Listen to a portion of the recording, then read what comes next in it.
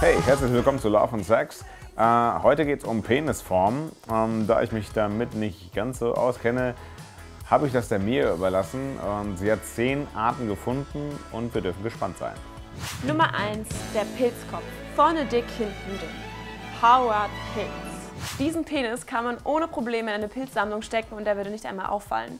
Obenrum fängt er ziemlich kräftig und voluminös an und nach unten hin wird er immer dünner. Ja, liebe Männer, dieser Vergleich ist schon ziemlich hart. Dazu kommt aber noch die Tatsache, dass diese Penisformträger es sehr schwer haben, ein Kondom zu finden, das gut sitzt. Das ist aber kein Nachteil beim Liebesspiel, denn der Penis hat ja immer noch einen breiten Part. Nichts dagegen der zweite. Nummer 2. Slim Jim. Lang und dünn. Joko Spargel. Lang wirkt ja auf den ersten Blick recht vorzeigbar. Allerdings bringt Size Zero beim Sex nicht wirklich etwas. Bei der Frau fühlt sich das dann eher so an wie ein wildes Rumgestochere. Da passt dann doch der Spruch, es kommt nicht auf die Länge an, sondern auf die Dicke. Nummer 3, der Dirty Harry, unansehlich und deformiert. Pete Banane. Wenn ihr mit einem solchen Schmuddel im Bett landet, dann gibt es nur zwei Möglichkeiten. Erstens, eine Ausrede finden, warum ihr ganz schnell wieder weg müsst. Und zweitens, einfach das Licht ausmachen. Um es mit ihm auszuhalten, braucht ihr einfach etwas Zeit, um euch daran zu gewöhnen. Nummer 4, der kleine Dicke, Danny Kartoffel. Das gute Stück ist ziemlich rund und kurz geraten und wirkt nicht gerade sexy. Aber diese Form bei seinem besten Stück bedeutet eine Menge Spaß im Bett. Denn wie schon gesagt, kommt es auf den Umfang an. Nummer 5, der pelzige, Chewbacca Mais. Ist ihm so kalt oder warum trägt er einen Winterpelz? Diese Penisform wird man nur auch selten zu Gesicht bekommen, denn sie ist vom Aussterben bedroht. Doch bei der heutigen Körperpflege ist eine Intimrasur schon zum Standard übergegangen. Allerdings gibt es noch Fans von dem natürlichen Look.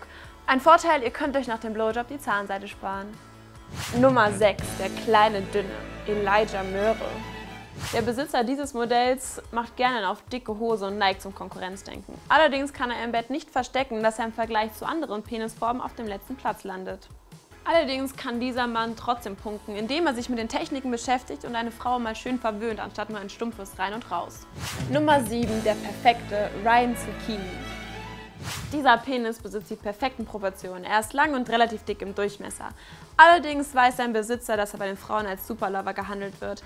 Dadurch ist er etwas prädestiniert zum Fremdgehen und hat viele Affären. Also Frauen, freut euch, wenn ihr mal im Bett habt, aber es ist zeitlich begrenzt. Nummer 8, der muskulöse Channing Gurke. Groß, prall, muskulös. Schade nur, dass man den Besitzer nicht ansieht, was für ein Prachtstück er mit sich herumträgt. Er hat eine große Ausdauer, ein Sportler eben. Nummer 9, der Krumme. Owen Banane. Er ist zwar schief und krumm, dafür ist er aber beweglich wie ein Yogalehrer, denn er kommt an Stellen ran, die andere niemals erreichen würden. Er kennt nämlich den direkten Weg zum G-Punkt. Nummer 10, der Umhangträger. Harry Lauch. Gibt es einen Grund, warum er sich unter seinem faltigen Umhang versteckt? Ist das vielleicht ein Zauberumhang? Keine Angst, sobald ihn erregt, kommt er aus seinem Versteck hervor und zeigt sich in seiner vollen Pracht. Das ist wie bei Weihnachten, es gibt immer wieder was zum Auspacken. Gut, das war jetzt ein bisschen ironisch und überzogen dargestellt, aber ein bisschen Spaß muss sein, oder Jungs? Also bitte nicht böse sein. Ihr könnt stattdessen in die Kommentare schreiben, was ihr euch als nächstes für ein Video wünscht. Ich hoffe, euch hat das Video gefallen. Unter mir gibt es noch zwei weitere Videos vom Survival Guide und oben rechts könnt ihr abonnieren. Äh, Ich hoffe, wir sehen uns nächste Woche wieder und bis dann, eure Mia.